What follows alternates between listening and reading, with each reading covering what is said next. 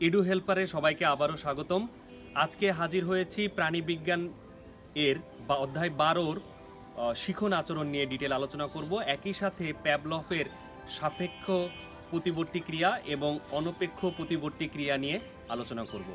আশা করছি ক্লাসটি উপভোগ করবে। ক্লাসটি শেষে যদি তোমার কোনো মতামত থাকে, অবশ্যই ইউটিউবের কমেন্টস বক্সে কমেন্টস করতে ভুলবে না। সবাইকে আবারও স্বাগতম।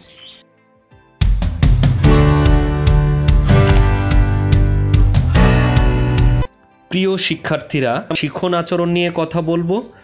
শিখন হচ্ছে এমন একটি আচরণ যেটি অভিজ্ঞতার আলোকে বারবার অনুশীলনের মাধ্যমে অথব- অনুকরণের মাধ্যমে প্রাণীরা আয়ত্ত করে থাকে। শিখন আচরণ শর্তের অধীন একটি আচরণ যা কোনোভাবেই জন্মগত না, অথবা অথবা এভাবে বলা যেতে পারে, এটি কখনোই বংশগতীয় উপাদান হিসাবে পিতামাতা থেকে সন্তানের শরীরে জিনের মাধ্যমে সঞ্চারিত হয় না। তার মানে আমরা বলতে পারি, শিখন এমন একটি আচরণ যেটি অভিজ্ঞতার আলোকে অভিযোজনিক পরিবর্তনের মাধ্যমে প্রকাশিত হয় এবং এটি মূলত পারস্পরিক অনুশীলনের মাধ্যমে, বারবার প্র্যাকটিসের মাধ্যমে প্রাণী অর্জন করে থাকে। শিখন আচরণ সম্বন্ধে ইন্টারমিডিয়েটের সিলেবাসে আমরা অভ্যাসগত আচরণ এবং অনুকরণজনিত আচরণকে ব্যাখ্যা করে থাকি। সুতরাং এই পয়েন্টটা অনুধাবনের জন্য খুব গুরুত্বপূর্ণ। পরীক্ষাতে সাধারণত আচরণের এই পাঠ থেকে কোনো প্রয়োগ বা উচ্চতর দক্ষতার প্রশ্ন করা হয় না। সুতরাং একটু রিডিং পড়ে রাখলে অথবা একটু পাস মার্কসের জন্য এই বিশাল পয়েন্টগুলোকে যদি তুমি পড়ে পড়ে ইম্পর্টেন্ট লাইন লাইনগুলো নিয়ে যদি নোট করে ফেলো, তাহলে দুই মাসের জন্য পরীক্ষাতে খুব সহজভাবে লিখতে পারবা। জ্ঞান এখানে হচ্ছে শিখন কি বা অভ্যাসগত আচরণ এবং অনুকরণ জনিত আচরণ বলতে কি বোঝো বা কি, এই জাতীয় কোশ্চেনগুলোই এখানে খুব গুরুত্বপূর্ণ। অনেক ক্ষেত্রে এখানে যে উদ্দীপক দেওয়া থাকে, সরাসরি শিখন আচরণের সাথে সম্পর্কিত কোনো উদ্দীপক না দেওয়া থাকলেও সহজাত আচরণকে খুঁজে বের করার জন্য উদ্দীপক হতে এই শিখন আচরণের উদাহরণগুলো খুবই জানা প্রয়োজন। এই জন্য তোমাদের কাছে অনুরোধ থাকবে যে এই টপিক্সটা যখন পড়বে, তখন এই অভ্যাসগত এবং অনুকরণ জনিত আচরণের অন্তর্ভুক্ত সকল বৈশিষ্ট্য বা সকল উদাহরণগুলো পড়বে। সেটা গাজী আজমলি হোক বা আব্দুল আলিমের বই হোক অথবা মিজান স্যারের বই হোক, যে বই থেকে পড়ো, এইখানে যে উদাহরণগুলো দেওয়া আছে, সেগুলো বাদ দেওয়া যাবে না। সেই উদাহরণগুলো সুন্দর করে পড়ে ফেলতে হবে। না হলে উদ্দীপক ধরতে পারবা না। সহজাত আচরণ থেকে যে প্রশ্ন করা হবে, সেটাও তোমার জন্য উত্তর দেওয়া খুবই মুশকিল হয়ে যাবে। ওকে, এখন আমরা অভ্যাসগত আচরণ নিয়ে কথা বলব। অভ্যাসগত আচরণ হচ্ছে এমন একটি আচরণ যা খুবই সরল প্রকৃতির। এর সাথে কোনো স্বার্থের সম্পর্ক নেই, অর্থাৎ পুরস্কার, তিরস্কার এগুলোর সাথে এর কোনো সম্পর্ক নেই। মূলত একটি প্রাণী কোনো একটি আচরণ বারবার করতে থাকলে একসময় সেটি অভ্যাসে পরিণত হয়, যেটা আমরা খুব সাধারণভাবেই জানি। সাধারণত জিনিসটাকে এইভাবে ব্যাখ্যা করা যায় যে কোনো একটি উদ্দীপনার বারবার রিপিটের ফলে সেই উদ্দীপনার প্রতি যখন কোনো একটি প্রাণী বারবার একই ধরনের সাড়া দেয়, ওই একই ধরনের সাড়া দেবার ফলে প্রাণীটি যে আচরণটা লব্ধ করে, ওই অর্জিত আচরণটাকেই আমরা অভ্যাসগত আচরণ বলতে পারি। অভ্যাসগত আচরণ অনেক সময় উদ্দীপনার তীব্রতার সাপেক্ষে এটা ফিকে হয়ে যেতে পারে। অর্থাৎ একই ধরনের উদ্দীপনার মাত্রা অনেক বেড়ে গেল।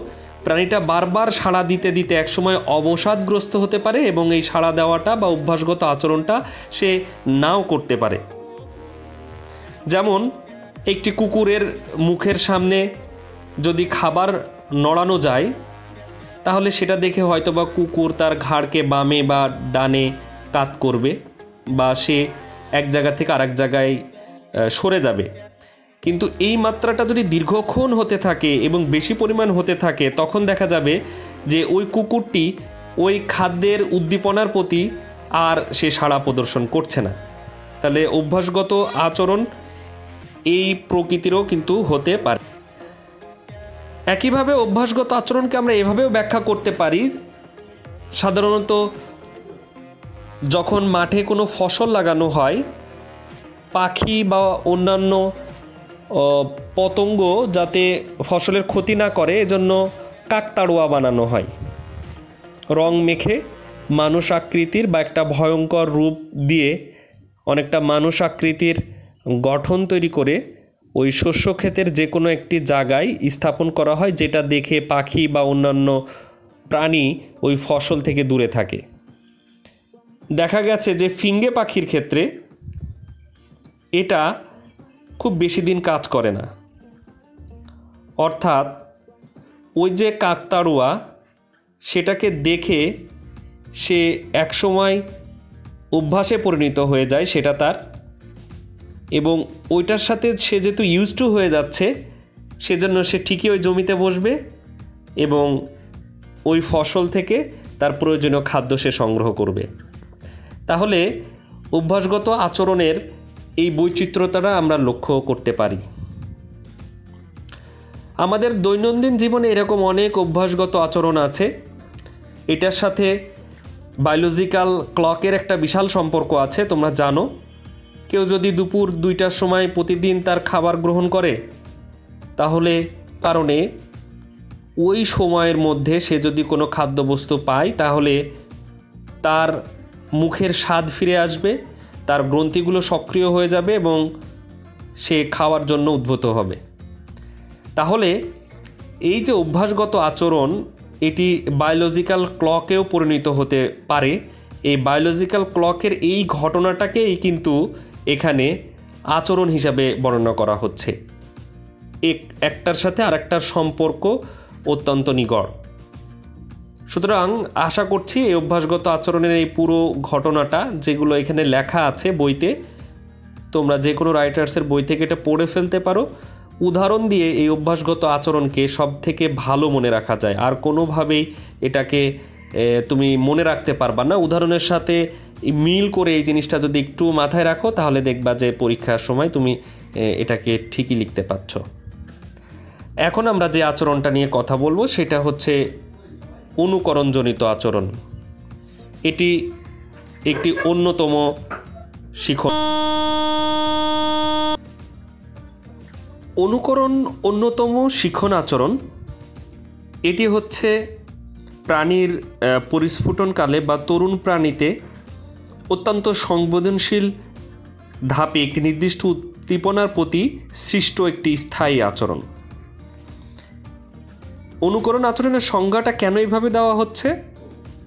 এর কারণ হচ্ছে আমরা প্রকৃতিতে দেখে থাকি, কোনো কারণে আমরা মুরগির যে ইনকিউবেশন পিরিয়ড বা ডিমে তা দেওয়া বলি, সেই সময় যদি আমরা হাঁসের ডিম রেখে দিই তার পালকের নিচে, তাহলে ওই হাঁসের বাচ্চাগুলো জন্মগ্রহণ করার পর চোখ ফুটে যাকে দেখবে তাদের প্রতি প্যারেন্টাল কেয়ার প্রদর্শন করছে, তাকেই তারা মা হিসাবে গ্রহণ করবে। এবং তার মা যেভাবে খাদ্য সংগ্রহ করবে, যে জায়গাগুলোতে যাবে, ওই অপত্য শাবকগুলো এই একই কাজগুলো করবে, মাকে অনুকরণ করবে। এর ফলে সে কিছু বৈশিষ্ট্য অর্জন করবে এবং কিছু বিশেষ ধরনের আচরণ প্রদর্শন করবে। এটা একটা অনুকরণ আচরণ হতে পারে। তার মানে এটা না যে ওই হাঁসের বাচ্চাটা পূর্ণবয়স্ক হওয়ার পরে ওই মুরগির মতো আচরণ করবে, বা সে মুরগি হয়ে যাবে, এরকম ঠিক না? তখন তার ওই জন্মগত আচরণের প্রভাবে তার জেনেটিক্যাল বা সহজাত আচরণগুলো প্রকাশিত হলে তখন এই আচরণটার পরিমাণটা আবার কমে যাবে। অনুকরণকে আমরা অন্যভাবেও ব্যাখ্যা করতে পারি। যেমন তোমাদের বইগুলোতে সাধারণত হাঁস শাবকের কথা বলে দেওয়া আছে। এই হাঁস শাবক জন্মের পর তার মাকে দেখে এবং মাকে সবসময় অনুসরণ করে এবং কোনো কারণে ওই জন্মের সময় যে মাকে দেখেছিল, তার পরিবর্তে অন্য একটি স্ত্রী হাঁসকে যদি তার আশেপাশে রাখা যায়, সে তাকেই অনুসরণ করবে। অর্থাৎ নিম্ন শ্রেণির প্রাণীদের যেহেতু কোনো একটা পার্টিকুলার স্পিসিসকে বা ইন্ডিভিজুয়ালকে সিলেক্ট করার ক্যাপাবিলিটি কম, সেজন্য সে তার আশেপাশে যাকে দেখে তাকেই তাদের মা বা তাদের আশ্রয়দাতা হিসাবে গণ্য করে নেয়। কিছু কিছু প্রাণী আছে যারা অনুকরণ করে গন্ধের মাধ্যমে।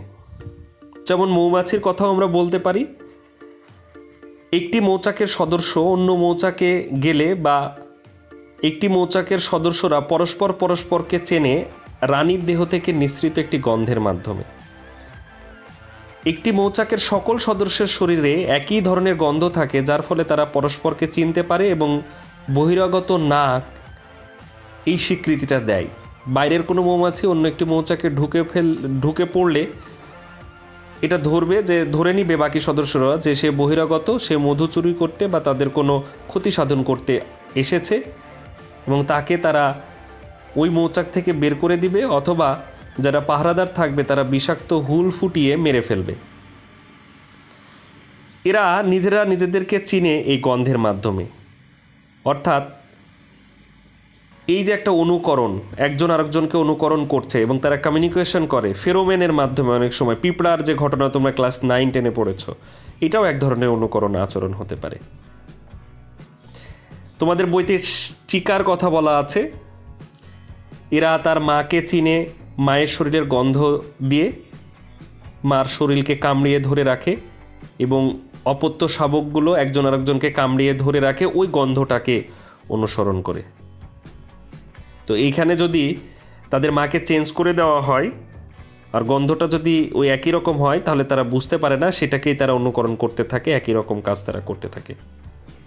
তাহলে এটাই হচ্ছে অনুকরণ আচরণ। আমরা অনুকরণটা সাধারণত সাইন্টিফিক কোনো ব্যাখ্যা ছাড়াও আমরা যেভাবে বুঝি, এমনি যদি বলি যে কেউ কাউকে অনুকরণ করছে বা কেউ অভ্যাসগত একটি কাজ করে ফেলেছে, আমাদের নন বায়োলজিক্যাল যে সেন্স আর বায়োলজিক্যাল সেন্স সেটা একই রকম, কিন্তু পরীক্ষার জন্য জ্ঞান হিসাবে আমরা এই জায়গাটা একটু পড়ে ফেলতে পারি, যেটা খুবই গুরুত্বপূর্ণ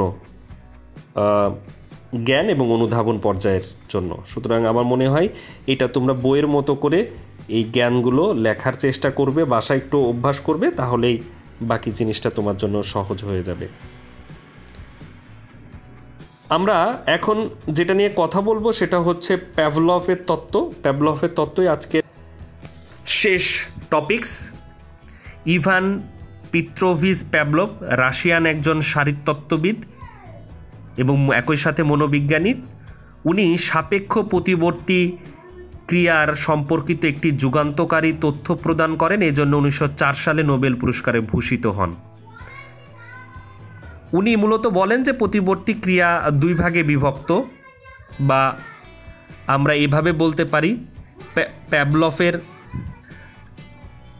প্যাবলফ প্রতিবর্তী ক্রিয়াকে দুই ভাগে ভাগ করেছেন একটি হচ্ছে অনপেক্ষ, আরেকটি হচ্ছে সাপেক্ষ প্রতিবর্তী ক্রিয়া। অনপেক্ষ হচ্ছে এমন একটি প্রতিবর্তী ক্রিয়া যেটা কোনো শর্তের অধীন নয়, যেটি জন্মগত একটি ব্যাপার। যেমন খাবার দেখলে আমাদের মুখ থেকে লালা বের হবে, সুন্দর একটি ফুল দেখলে আমাদের মনের মধ্যে ভালো একটি অনুভূতি সৃষ্টি হবে। এই জাতীয় জন্মগত আচরণগুলোই হচ্ছে সাপেক্ষ, দুঃখিত, অনপেক্ষ প্রতিবর্তী ক্রিয়া। অপরদিকে, যে আচরণগুলো জন্মগত নয়, সহজাত নয়, যেগুলো সাধারণত কোনো শর্তের অধীন। এই জাতীয় আচরণকে আমরা বলব সাপেক্ষ প্রতিবর্তী ক্রিয়া। যেমন, কোন একটি চিড়িয়াখানায় কেউ একজন খাবার দেয়, একটি নির্দিষ্ট ড্রেস পরে। হয়তোবা প্রাণীগুলো ওই ড্রেস বা ওই রংটাকে দেখলেই তখন তারা উত্তেজিত হয় এবং তারা বোঝে যে কিছুক্ষণ পর তাদেরকে খাবার দেওয়া হবে। তাহলে ওই যে বিশেষ ড্রেস বা তার রং ওইটা অনপেক্ষ প্রতিবর্তী ক্রিয়াকে উস্কে দিচ্ছে বা অনপেক্ষ প্রতিবর্তী ক্রিয়া ঘটানোর জন্য সহায়ক ভূমিকা পালন করছে। তাহলে এই ধরনের উদ্দীপনাকে আমরা সাপেক্ষ উদ্দীপনা বলি আর এই ধরনের ক্রিয়াকে আমরা বলব সাপেক্ষ প্রতিবর্তী ক্রিয়া। এই সাপেক্ষ প্রতিবর্তী ক্রিয়ার উপরে গবেষণা করেন বিজ্ঞানী প্যাভলভ এবং উনি গবেষণার খাতিরে চিত্রে প্রদর্শিত এই কুকুরটির মতো করে উনি একটি কুকুরকে স্টেজে দড়ি দিয়ে শক্ত করে বাঁধেন এবং গবেষণার খাতিরে তার মুখের লালা গ্রন্থির সাথে একটি নল যুক্ত করে দেন, যেটির মাধ্যমে লালা রস এসে একটি পাত্রে জমা হয় এবং সেখান থেকে উনি পরিমাণটা রেকর্ড করতে পারেন। উক্ত কুকুরটির যাতে লক্ষ্য বা ফোকাস পয়েন্ট একটি নির্দিষ্ট দিকে থাকে, এজন্য চারিদিকে উনি এটাকে ঘিরে দেন এবং সামনের দিকে একটা ফাঁকা জায়গা রাখেন, যাতে কুকুরটার দৃষ্টি সামনের দিকে সবসময় স্থিতি থাকে এবং শরীরের অন্যান্য অংশগুলো বেল্ট দিয়ে বাঁধেন যাতে তার শরীরে বড় ধরনের ক্ষতি না হয়। কোনো কারণে সে যদি বিরক্ত হয় এবং সে যাতে চলে না যেতে পারে। এখন ওই কুকুরকে কিছু মাংস চূর্ণ উনি প্রদান করলেন। এই মাংস চূর্ণ দেবার ফলে কুকুরটার মুখ থেকে লালা নিঃসৃত হলো এবং সেই লালাটা গিয়ে ওই রেকর্ড করার জন্য যে পাত্রটা যুক্ত করা ছিল, ওই পাত্রে জমা হলে পরিমাণটা উনি কাউন্ট করে ফেললেন। আর এই খাবার দেওয়ার ফলে তার মুখ থেকে যে লালা বের হলো, এটা কিন্তু অনপেক্ষ একটা উদ্দীপনা। এবং সে অনপেক্ষ প্রতিবর্তী ক্রিয়া প্রদর্শন করল। কারণ এটা একটা সহজাত প্রবৃত্তি। এরপরে উনি যেটা করলেন, কয়েকবার ওই কুকুরটাকে উনি খাবার দেওয়ার চেষ্টা করলেন এবং খাবার দেওয়ার আগে একটা ঘণ্টার ধ্বনি উনি প্রদর্শন করলেন। একটা ঘণ্টার ধ্বনি দিয়ে তারপরে খাবার দিলেন। উনি লক্ষ্য করলেন এই ঘণ্টা ধ্বনির কারণে তার নতুন কোনো আচরণ বা তার অনপেক্ষ প্রতিবর্তী ক্রিয়া প্রদর্শন করার জন্য যে মনোভাব সেটা তৈরি হচ্ছে না। কিন্তু খাবার দেওয়ার সাথে সাথেই তার মুখ থেকে লালাক্ষরণ কিন্তু শুরু হয়ে গেল। তার মানে উনি তখন বললেন বা উনি যেটা তার ব্যাখ্যাতে লিখলেন যে ঘণ্টার ধ্বনিটা এখন পর্যন্ত নিরপেক্ষ উদ্দীপনা এবং এর ফলে সে কোনো বিশেষ ধরনের আচরণ প্রদর্শন করছে না।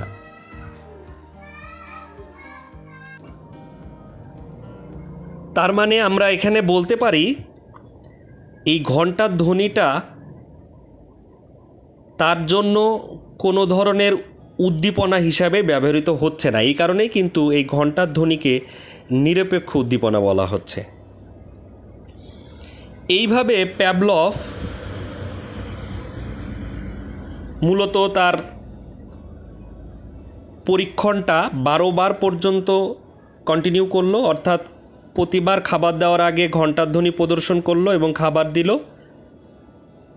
বারো বারের পরে উনি লক্ষ্য করলেন, শুধুমাত্র ঘণ্টার ধ্বনি এর কারণে ওই কুকুরের মুখ থেকে লালা খরিত হচ্ছে। তখন এই সাপেক্ষ উদ্দীপনাটা, অনপেক্ষ উদ্দীপনা প্রদর্শন করতে ভূমিকা পালন করছে।